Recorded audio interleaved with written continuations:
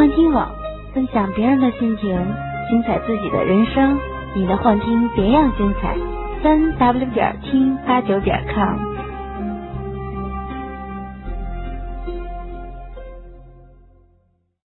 欢迎继续收听由桑子播讲的长篇玄幻小说《斗破苍穹》第七百六十八回。萧炎沉声的回答道：“雷尊者此言倒是过于武断了。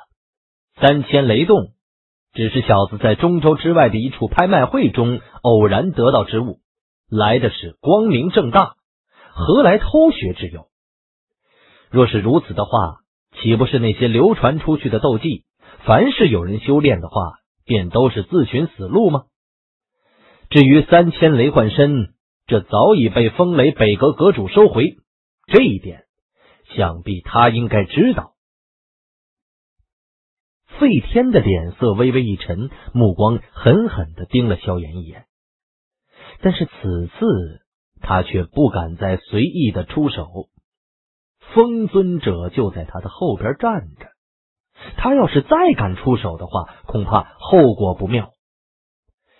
对于风尊者这等强者，费天的心中还是相当惧怕的。对于萧炎的话，雷尊者却是不置可否。现在最令他棘手的是风尊者，只要他坚持保萧炎，恐怕今天会闹得非常的僵化。这并不是雷尊者愿意见到的事情。两格若是开战，不管胜利的是哪一方，都必将元气大伤。到时候就可能让别人坐收渔翁之利了。手指轻轻的敲打着扶椅，半晌后，雷尊者终于叹了口气，淡淡的说道：“哎，此事说到底是萧炎和风雷北阁起因。这样吧，看在风尊者的面子上，此事就交给费天。”他们二人来处理，无论谁胜谁负，此事都作罢。你我二人皆不插手，如何呀？闻言，风尊者眼睛一低，看了一眼下方的费天，旋即摇头说：“哈哈哈哈哈！费天和萧炎之间的辈分可是相差太多了，以强凌弱，以老欺少。”可不是什么好名声啊！被风尊者驳回，雷尊者面色也是一沉，说：“那风尊者究竟想要如何吗？要我风雷阁什么都不做，就这么放过他吗？此事绝对办不到。”这个时候，剑尊者见场中气氛不对，笑了笑说：“嘿嘿嘿，呃，大家都有事好好商量嘛。这样吧。”呃，费天的辈分的确比萧炎高，哎，让他出手的确不太好，何不如直接让年轻一辈出手呢？雷尊者眼睛微眯，目光却转向了场中的凤青儿。剑尊者的意思是让青儿跟他萧炎。剑尊者点了点头，目光大有深意的看了凤青儿一眼，说。这个小丫头也不是寻常之人呐，雷尊者就不用再遮遮掩掩的了吗？嗯，雷尊者眉头微皱，旋即点点头，目光直视风尊者。既然风尊者觉得费天的辈分高了，那么就让青儿出手吧。若是萧炎失败的话。他必须承诺以后不再使用三千雷动。若是青儿败了的话，那萧炎和风雷阁之间的恩怨就一笔勾销。怎样啊？当然了，这场交手的前提是禁止使用其他人的灵魂力量。说到最后，雷尊者瞥了萧炎一眼，想来他也是知道。萧炎身体中有一个实力格外强横的灵魂体的存在。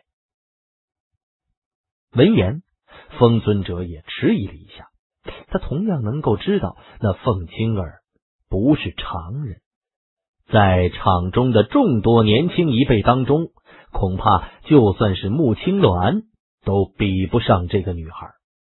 但是这种局面已经是风雷阁多番相让的结果了。若是再不行的话，恐怕今天也就真的没什么好谈的了。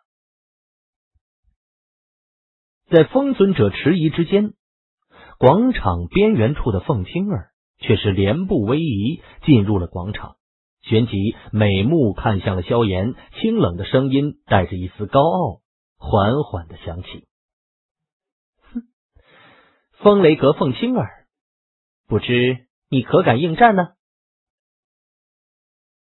目光顿在了凤青儿那凹凸有致的丰满的娇躯上，萧炎也是一笑，一股豪气心中喷薄而出。他自然也知道风尊者的一些难处，而且他怎么说也是药老之徒，再怎样也不能在老师这位生前好友的面前落了他老人家的名声，不是吗？所以萧炎一声朗声大笑，豪气干云。哈哈哈哈哈！萧炎奉陪便是。见到萧炎居然毫不露怯，风尊者也是微微一愣，旋即眼中掠过一抹不易察觉的赞许之色。他并不知道萧炎为何能够被眼光极高的药老收为弟子，但至少光是如今的这股胆气就足以令人侧目。以风尊者那老辣的眼力，自然能够知道那凤青儿实力极强。虽说萧炎同样突破到了斗宗，但此战谁胜谁负，依旧是不可预料的事情。对于萧炎的一些事迹，风尊者也是略有所耳闻。但据他所说，这是因为前者体内有着一个。强大灵魂体的缘故，可是如今在这场比试当中，却是被雷尊者率先禁止使用。那如此一来，却令得萧炎的战斗力大为削弱了。目光在萧炎的身上扫了扫，风尊者能够隐隐察觉到一个强大灵魂体的存在。不过，令他失望的是，这种灵魂波动。并不是他的至交好友药老所有。风尊者偏头轻声的嘱咐道：“你小心一点此女的实力非同凡响啊！若我所料不差，在经过天山血潭的浸泡后，她也真正的进入了斗宗层次，而且加上她的身份，战斗力更是远超寻常的斗宗啊！若是真正不敌。”也不用和他硬抗。凤青儿的天赋的确是我这些年所见的年轻一辈中的佼佼者，即便是青鸾，和他也是有些差距的。输给他不算丢脸。闻言，萧炎一愣，旋即笑着点点头。那王晨能够借助着天山血潭，达到半只脚踏入斗宗的层次。以这凤青儿更加恐怖的天赋，一举突破至斗宗也并不是什么不可能的事情。不过，风尊者嘴中所说的那身份，倒是令得萧炎有些诧异。当然，面上点着头，萧炎那身板儿却是悄悄的挺了许多。凤青儿有着他的高傲，而他萧炎。也同样有着属于自己的傲骨。如今初见风尊者，虽说对方的确在竭力保护着自己，但是自己也得有着一些值得人重视的表现。这种表现并非是萧炎想炫耀什么，他所想的只是想让别人认可老师的眼光而已。特别是在风尊者的面前。轻吸了一口气之后，萧炎手掌一握，巨大的漆黑的玄重尺顿时闪掠而出。既然已经身份暴露，这玄重尺倒也能够随意的施展。他的脚掌踏着虚空，在周围无数道目光的注视下缓步而下，然后脚步轻轻的落在广场之上。他微微抬眼，望着对面那一身彩衣的高傲的女子，握着持柄的手掌微微的用力。随着萧炎的脚掌落入广场上，广场周围的气氛呐。顿时变得紧绷起来，任谁都能感受到场中那股剑拔弩张的对峙。凤青儿的名头，这些年中几乎达到了这一代中州北域年轻一辈的巅峰，即便是四阁之中，也是无人能和他相比。据说呀，此女曾经和风雷阁一名实力达到了二星斗宗的长老交手。虽然最后未胜，但同样的也没有失败。而那个时候的他，可还未曾突破斗皇啊！这等战绩可是相当傲人。更何况如今的他，也正式的踏入了这个层次，他的战斗力自然是更加强悍的。当然了，这凤青儿名头虽强，但是萧炎也不弱呀。虽说是最近才飞速拔升的，但他所做的事儿皆令的人感到极为震撼。从初到天北城击杀洪家天才洪尘，击杀沈云、洪天啸两名货真价实的斗宗强者，以及强行破掉了风雷北阁三大长老率众布下的九天雷狱阵。再到后来，从风雷北阁阁主费天手中顺利逃生，这种种的事儿啊，在常人来看，几乎唯有用叹为观止来形容了。虽说经过如今的传言，很多人都知道，那是因为萧炎身旁有一个强大灵魂体暗中相助的缘故，但是这也不能完全抹杀萧炎的实力。如今，这两位在北域都有着不小名声的年轻一辈的翘楚，却在这雷山上相遇，那股针锋相对的气氛，即便是旁人也能够清楚的感觉到。而自然，这场交锋无疑将会成为这届四方阁大会开始以来最为吸引人的一场大战。在场的。恐怕没有谁不想知道，这两位几乎达到了北域年轻一辈的巅峰的两者，若是交手，那么最后的胜利者会是谁呢？一想到这儿啊，不少人都有种热血沸腾的感觉。萧炎和凤青儿或许将会代表着北域年轻一辈的巅峰一战。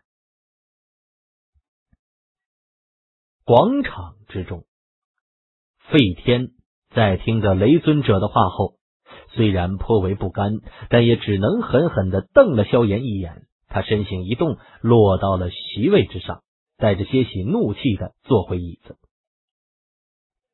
对于满腔怒气的费天，雷尊者却是未曾理会，他的目光淡淡的在萧炎的身上扫了一圈，旋即瞥向一旁的风尊者。眉头忍不住的皱了皱，他到现在也想不明白，为何风尊者会突然出面力挺萧炎呢？而且在他生命安全这一项上，还是格外的决然，几乎没有半点谈判的余地。这个小子究竟是风尊者什么人呢？心中茫然的喃喃一声。雷尊者偏头看了一旁的费天一眼，淡淡的说道：“有什么好生气的？青儿带你出手，还免去了你落个不好的名声。阁主有所不知啊，这个小子可恶的紧啊，连沈云长老都命丧其手，难道这种事也这么罢休吗？”雷尊者一听，生气了。若是你觉得星陨阁和我们开战对我们好处大大的话，那不罢休也成。你，哎呀！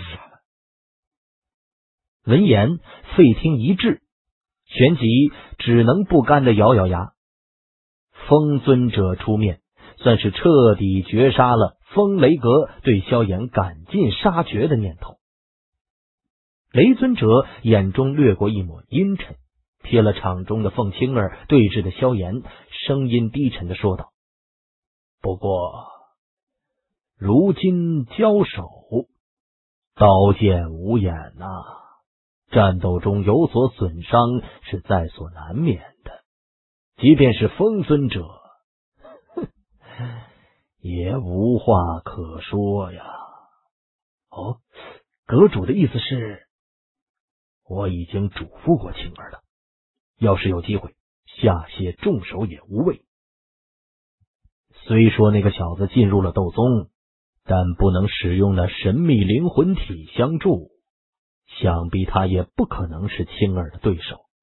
而在战斗中出现伤亡，可是非常正常的。